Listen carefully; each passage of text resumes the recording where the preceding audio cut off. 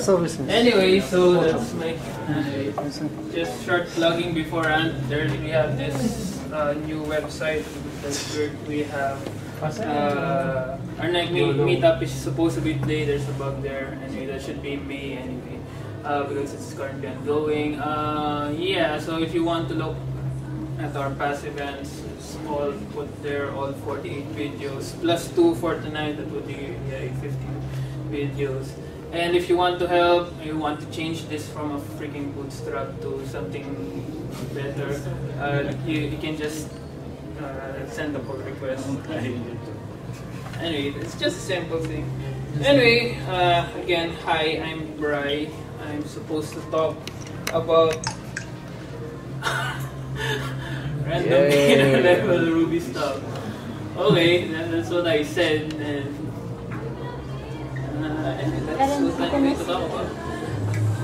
Hey, so settle down. Okay, so while we're waiting for the food, we're supposed to be eating food today, uh, right now, but since the food's late, we're going to proceed with the next talk. Okay, so this is a talk. Uh, this is targeted for the beginners, for the experienced guys. You might not be able to relate that much. You might not enjoy it. So, yeah, just keep your comments.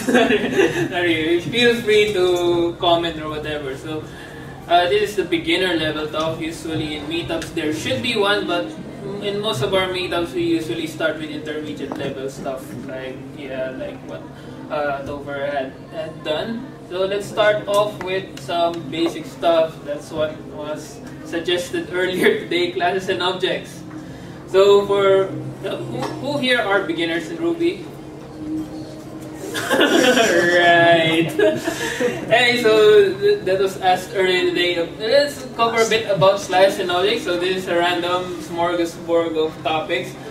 So basically, Ruby is just your run-of-the-mill class-based language. The only difference is is it's a dynamically dynamically typed type object-oriented programming language. So it's not like JavaScript, which has a different object-oriented model. It mostly follows your typical Java C sharp type of uh, object-oriented programming. So you have your oh my god, my my laser pointer doesn't work.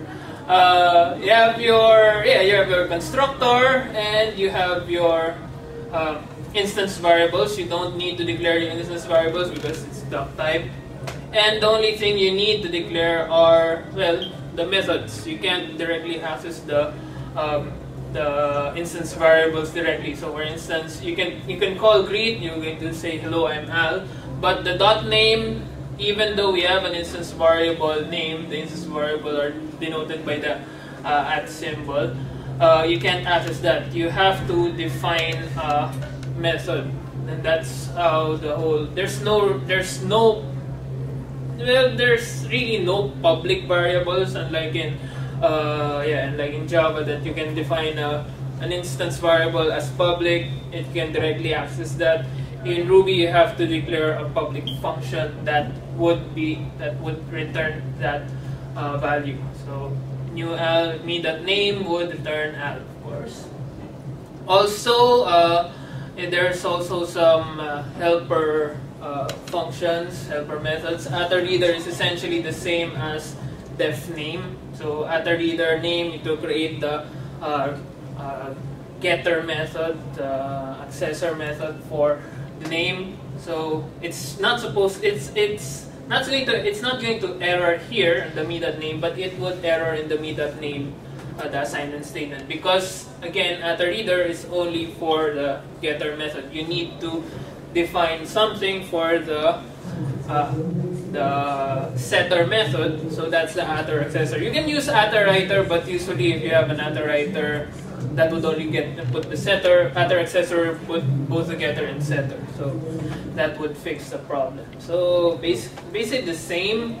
Also the subclassing those subclassing thing it's just yeah just use the uh, that angle bracket to denote that student is a subclass of person. So yeah create a student it requires the it inherits the constructor of the uh, superclass then you can yeah, use this assign the school and if you want to check whether an object is an instance of a class you can use instance of that determines if that that uh, object is an instance of the, exactly the class.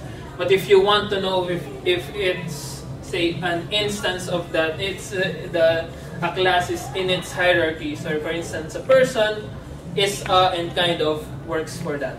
So if you want to know me is a person, that would return true, but it's not an instance of a person. And also here you'll notice that again Ruby uh, parentheses are uh, what do you call this optional uh, unless there's some ambiguity happening. And also some weird thing about uh, Ruby because the whole metaprogramming thing, classes are not closed. You can modify them anytime. So if you declare a person, you can open that class again and redefine some stuff inside. So there won't be an error there. So yeah, that's where the whole craziness comes in the Ruby world, the monkey patching and uh, metaprogramming. Uh, for the class variables, class variables aren't that used much. Uh, there are class methods that are used a lot. That's how you define a class method. Just call uh, uh, prepend. That's one of the ways. There's also another way. Uh, there's the self ROR, but this is the basic. you can prepend self dot to the method name and it would become a class method. And again, a class method is a method that you can call without having an instance. Same thing with the variable, it's as opposed to instance variables, you just need to use two at symbols. It would uh, define that it is a static or a class variable. Static if you're coming from languages that use static. Also, uh, constants, yeah, just constants is anything with a capital letter. Uh, starts with a capital letter is essentially constant. So to call them, to refer to them, you can use that symbol, uh, the two colons. And if you might notice that uh, anything that has a capital letter, so yes, class are essentially, class declaration are essentially uh, constants too. But that's, that's another story. And the other thing that was mentioned uh, in the suggestion that I was looking for in the thread was polymorphism. Again, Ruby is duck type, so polymorphism isn't that uh, exciting because you can just create two independent classes as long as they have a method the uh, same method signature, you can call that method signature anywhere. So if you look in the code in the, the new PinoyRB site, uh, you, you have they have a class event for the event like this event venue also for this venue. They both have a name. And be, be, with the Rails panel with the admin panel that we use in that site they don't really don't really have to say that hey this this name is where you will get the name. It just assumes it checks if there's a name. If there's a name it can use that and uh, yeah so your classic uh, statically typed polymorphism uh, you have to think differently if you're using uh, something like Ruby. So it's not that crazy. It's not that, eh, not that too simple. And in addition, uh, yeah, I think I miscopied, copy pasted this. I should have an example for module, but I copy pasted the wrong slide and I deleted the wrong slide. Anyway, there's also a concept called the module where you can define uh, a class-like object which contains variables, contains methods, but you can't instantiate it. You can, the only thing you can do with it is, well, you can call it class methods. You can also insert it, uh, you can use include to include it in the other classes. But again, I somehow I deleted that slide. Anyway, so let's move on to some other random beginner level Ruby stuff. That was the more technical stuff. So this is more of the more non-technical stuff about Ruby, the, the stuff you'll have to know about Ruby if you're a beginner. So first off, there are a lot of places where you can learn about Ruby. So for example, our site, the site I showed earlier, uh, PinoyRB, we have our own list of uh, sites that, and there's a lot of sites out there that you could uh, yeah, that there's a lot of online resources for learning Ruby. The only thing that you have to understand about Ruby is uh, Ruby discipline, not just Ruby, it's any discipline. And any discipline has its own set of whiners that just, okay, they read, read this article about this thing, then they already say that it sucks.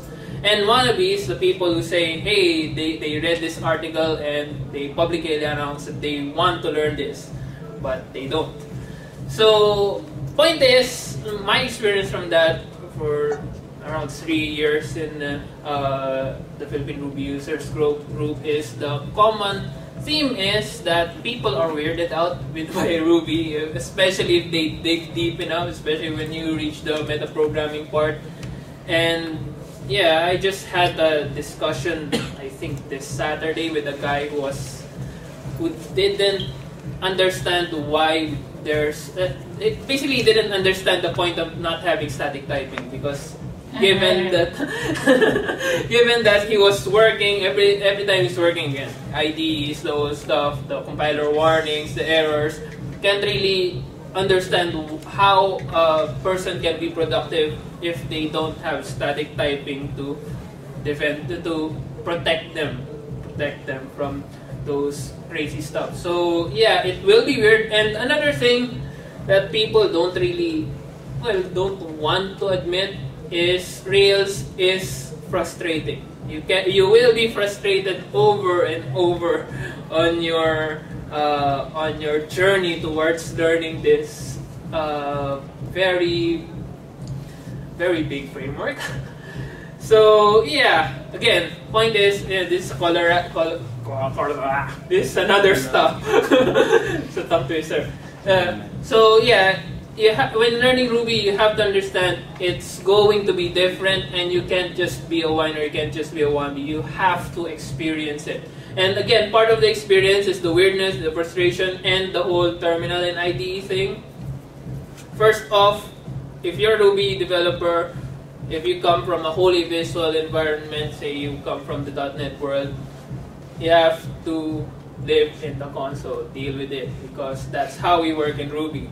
And if you are a developer, you should at the very least learn how to work in the console because that's like uh, say a mechanic who doesn't open the hood of the car they just you know fix the outside of the car. You have to go you have to dig deeper. So in the console you have to learn the console. It's not as hard as people think it is. It's not like the whole hacker movie thing that everyone's using the console all of the time no most of the time you're using Rails. How many Rails commands do you use on a daily basis anyway?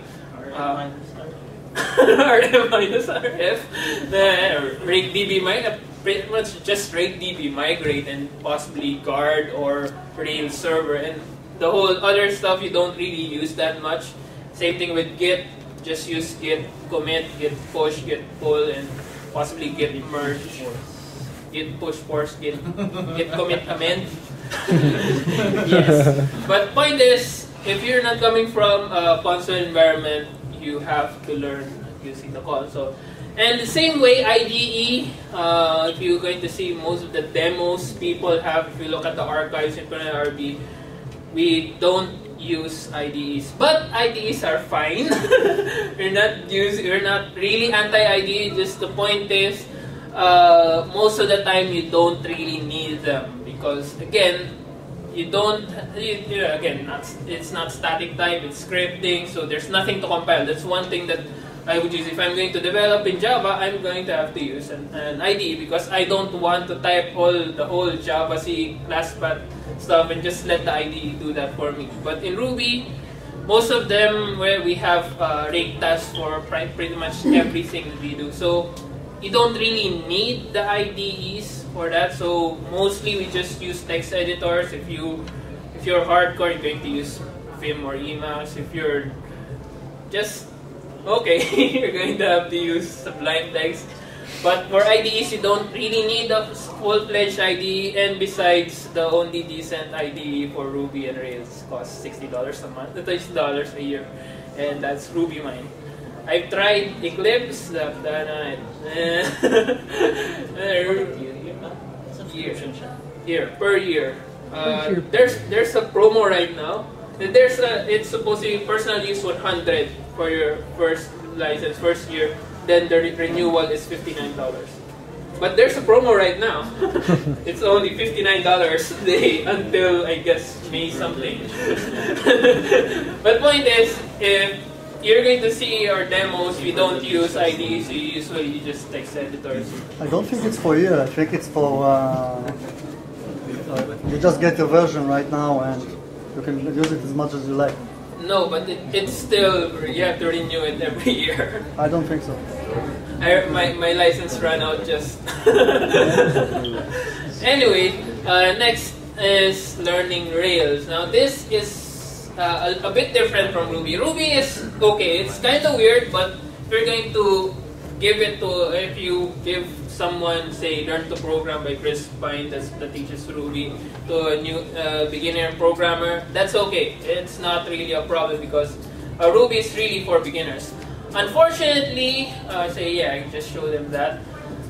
Unfortunately, there's a problem with Rails. People say that Rails is an easy web framework, but you have to be an experienced web developer to consider Rails to be an easy framework because, uh, for instance, uh, when Rails came out, the people who enjoyed the whole Rails, the, the whole Rails revolution thing, uh, they enjoyed it because all of the stuff they've been doing and say they're rolling their they're rolling out their own PHP frameworks or they're working with some crazy framework from .NET. Uh, then also there's in the Java world when you have struts and you have struts config, .xml and the whole hibernate config and Spring, the whole the whole crazy stuff that was there. When you go to Rails, you'll be happy because all of those crazy stuff you don't have to worry about. Also, right now, if you're a web experienced web developer right now and you've come from other web frameworks, you'll notice that pretty much all web frameworks right now are inspired by Rails. So if you're coming from some other uh, framework, you're going to have an easy time with Rails. But if you're not an experienced web developer, you are going to have a hard time. Many people are encouraged to learn Rails thinking they're going to have an easy fix, get, get a job or whatever, stupid, become a rock star or a ninja or whatever. But the point is, pretty much everyone that I've met that wanted to try out Rails but didn't have that, say, experience or that uh, amount of passion they quit in the first few weeks. They can't even install the whole thing. and uh, again, uh, Ruby is Rails Ruby processing, and it, uh, and another thing is uh, if you don't believe the whole, you're not, it's not really for beginners. This is something that I, this is a couple of things that we see every few months, uh, not really every few months, every few weeks in the uh, Rails installer because uh, Rails installer is the one-click installer for uh, for Windows and Mac, there, there, you have people who are beginners who are asking why isn't it there's because the command says uh, dollar Rails server. If I copy paste dollar Rails server, there's an error because it's in Windows. Why? Because, because they're beginners. They're not really. They don't know the the command line and all that, and we can't blame that for them. But you have to say that if you're a beginner, you will have to learn the basics that other web developers have gone through. You can't just jump into Rails and say you're going to be a rockstar developer in one week. And in addition, this is one last point I have to make. Learning Rails is different from developing in Rails. So the whole, what, what Topher told you earlier, if you're a beginner developer, you won't experience that until say one or two years down the line you won't be deploying anything if you're just learning on your own, especially if you're not working. If you're working in a company, you probably have to learn that in a few months. But if you're going to learn it as a hobby, uh, you won't learn that. So point is, because of the learning curve, there is a large gap from people who are learning Rails and people who are actually developing in Rails. And my point there is people, uh, the point there is a lot of people consider that there's really no gap. If you're learning Rails, you, you, you already do, you can do hardcore Rails stuff. But the point is there's really a gap. And again, this is what I am seeing is people are keep on making excuses. So I'm, I can't study Rails because I don't don't have a Mac yet, so I won't be able to study Rails. That's an excuse because again, if you're going to develop in Rails, yes, a Mac will be good because a lot of the gems that you are going to use and a lot the, the whole in the whole culture is around the Unix and the Linux world. So a lot of gems, a lot of packages, a lot of approaches are you're going to have to learn it. You have to uh, having a Mac would be a good idea. But if you're just learning, you're just learning the ropes. Pretty much any even a five-year-old laptop running Windows XP, you can learn Ruby there. You can learn Rails there. You won't be able to create some really awesome website, but you will be able to learn Rails. So again, that excuse that ah nah, I can't do it. You really have no excuse. And again, you can always use a virtual box and install Linux there, and again follow the uh, tutorials. And there's also say again Rails installer. You can do that and the point is, the only thing stopping you is usually there's a lack of passion. Again, that's an excuse. And if you have lack of time, that's really not an excuse. But if you have a lack of time, why the hell are you trying to study a really hard framework in the first place? And again, it, again, it's not that hard. As opposed to say, if you want to learn iOS and you're just, uh, uh, say, third year college student, uh, college student from a lower or middle class uh, environment, you are probably going to have to pull a lot of strings to get your own Mac and your own iPhone. but as opposed to say learning web development or not not even just Rails, any web development, any any cheap second-hand PC can learn web development there. So point is, if you want to learn Rails, you have to stop making excuses. Uh, do or do not, there is no try the whole crap. You don't need numerous So again, the people that I keep on hearing, they want to learn Rails, but after a couple of months, they still haven't learned how to deploy to Heroku. Yeah, they're just whiners and one. And people who don't want to learn Rails because they're hearing Rails can scale. When the hell are you going to build an application that needs to scale anyway? What the, why are you worrying about things that you don't need to worry about this early on? And besides, if you learn Rails, you can always move on to the, the more web scale stuff. And have a lot more problems learning them. Anyway, uh, yeah, just don't be one of those, crazy people. So thank you for listening. Uh, again, I'm Bry. I'm, I'm your professional bum and cameraman. Yeah. Thank you for listening.